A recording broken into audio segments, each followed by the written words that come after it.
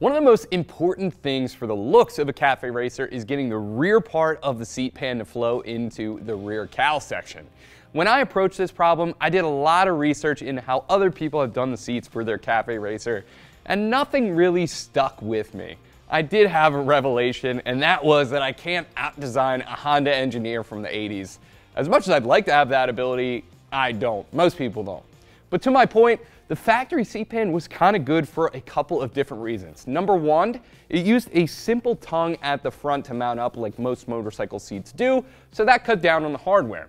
Number two, it already had a shape at the front that flowed from the tank, and that shape covered up the mounting bolts for the tank nice and cleanly, which I definitely liked. And number three, it already had some rubber bumpers on the bottom for some vibration dampening, and it gave the pan some clearance for some leather to wrap around the bottom. But I didn't like the huge factory pillion section rear part of the seat. I didn't like that it had mounting hardware all the way back near the pillion seat, so I thought to myself, I like the front, but I don't like the back. I'll cut the rear pan off, keep all the good features on the front, and remake the rear pan on my own. Only problem was, the pan was stamped. And it has a little bit of a weird stepped shape in the middle here because of that stamping. But with some clever planning and a little bit of focus, I bet I could get a piece of sheet metal to that shape with nothing but the offset dies and the bead roller. I started by rolling a ton of test pieces to try to match the shape of that factory pan. I needed to find the right setup to match the height of each step. I needed to find the angle that it steps down at. And of course, I wanted to keep the lows and the highs parallel to match this shape perfectly. Now, once I had the offset dies dialed in, the next challenge was how to transition to this bend at the rear of the pan here. Now, this bend, not something structural, just something I did quick in the electro brake, and it doesn't need too much strength because the rear of the pan will also be supported by the cowl behind it. Now, my plan to go from this stamp shape at the front here to flat again so I can get this bend right here was to make some horizontal reference lines and feather each bead roll out evenly as we progressed at a standard rate. Now, as you can see, that worked just great. And if you go slow, keep everything consistent, you could feather out your beads back to flat. Now, counting your turns here and being super consistent is very important here.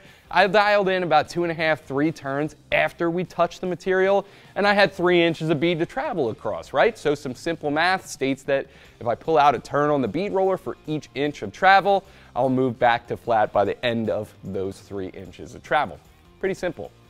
Now once we had that new rear section of the pan bead rolled, the shape matched perfectly to the stamping on the factory seat. All I had to do was weld it together. But I wanted to be very careful, only have one of these factory seat pans, did not want to blow through, wanted to make a nice structural weld here to support my weight. But once we had that done, easy peasy. I was able to Frankenstein a seat pan that is going to fit my needs. A couple of other things I did to this seat pan here, just some small quality of life stuff.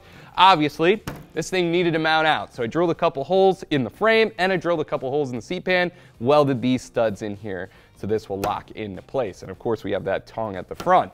At the rear here, two more rubber bumpers, same as the ones that were from the factory in the front. Liked what they were doing with those. Grabbed two more, drilled some holes, put those in. This will help support my weight at the back of the seat and make sure that everything is nice and straight once this thing is bolted down to the bike. Now, other than that, there are a couple things I have yet to do. Number one, I want to roll a couple beads in the back of this pan here, help strengthen it up a little bit, and I also need to trim it to size. Once I know what I'm going to do for upholstery, I'll get some samples, lay that over there, and trim this to size so that it flows perfectly into the rear cowl. After that, a little bit of a media blast, coat of paint, and this thing will be ready to go to the upholstery shop. Press the button to subscribe to our YouTube channel. We're giving away a MiG 180 welder at 500,000 subscribers. Also, make sure you check out our channel as well. We post tons of great how-to content over there you're definitely going to want to see. We'll have the bead roller link below. And as always, thanks for watching. I'm JD. Make sure you keep it right here at Eastwood to do the job right.